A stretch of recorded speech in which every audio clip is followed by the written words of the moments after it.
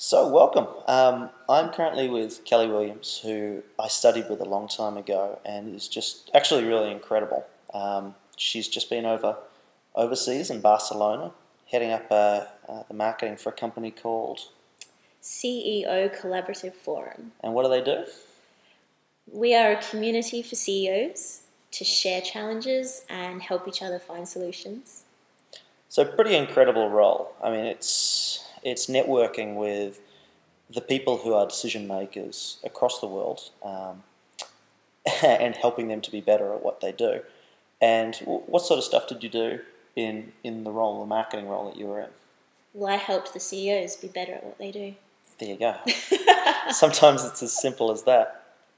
Um, and what it was really interesting. We were just having a conversation about life and business and, and our educations. And one of the things that we stumbled across, which I thought was relevant for this blog, was what we what we were actually taught at university, as opposed to how the world really works now. Mm-hmm. Um, digital being such a huge aspect of it, and everyone knows my role on it and, and how I've taught it and so on. But Kel, I thought you could tell everyone just a little bit about how you feel now in in the digital age without us having had formal digital courses?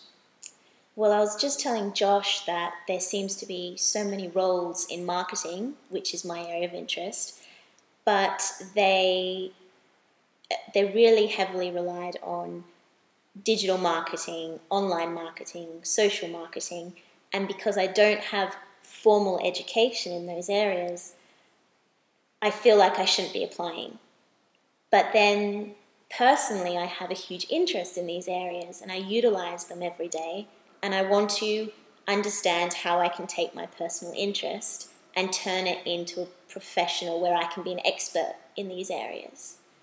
So, what I found fascinating about that those comments was that I see um, I see three sort of channels of people right now. There's people who um, self proclaimed experts in the internet, and many of them really aren't.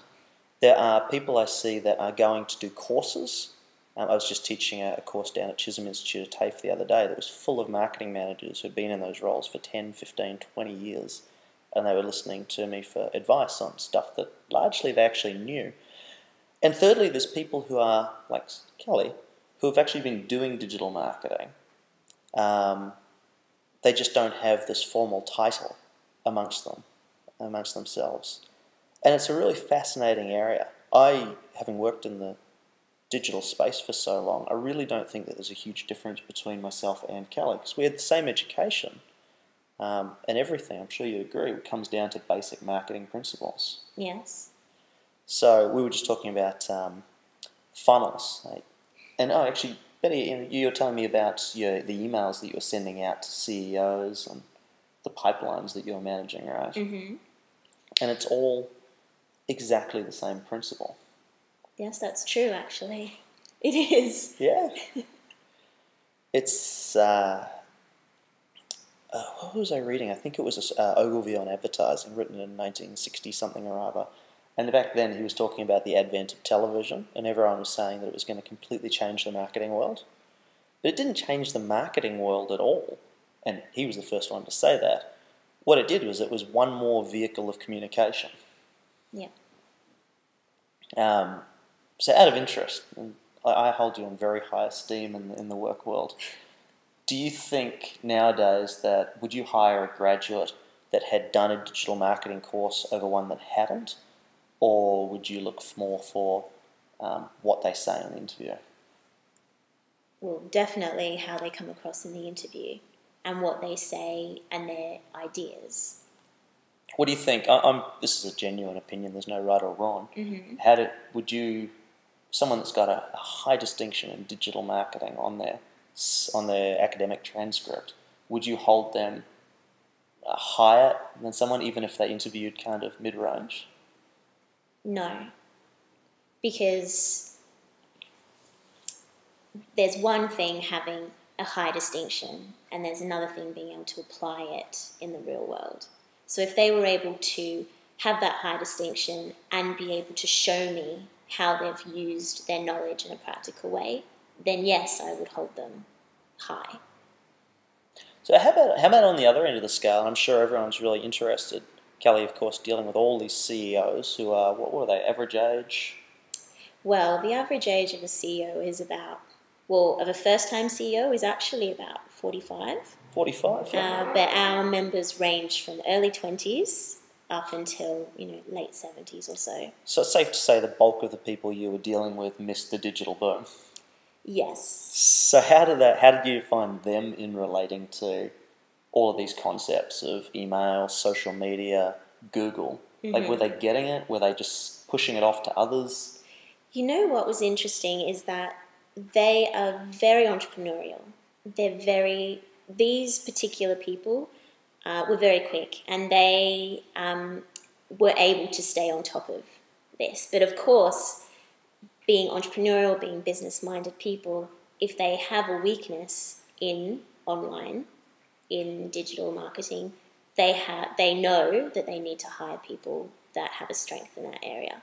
So whilst you know, especially you know, our parents maybe are not so good with email, they don't know how to attach simple things like photos, but then you have people like these CEO members that I was around that were very savvy when it came to these things. And yeah. I think that really that's so well said. It's it's about uh, I'm, I'm sure Kelly told me this. A good being a good CEO is about uh, getting the right people underneath you to support you. I've always felt that way when I manage people that I'm probably the least clever person in the room, and that's my goal is to hire the people that are strong in various areas.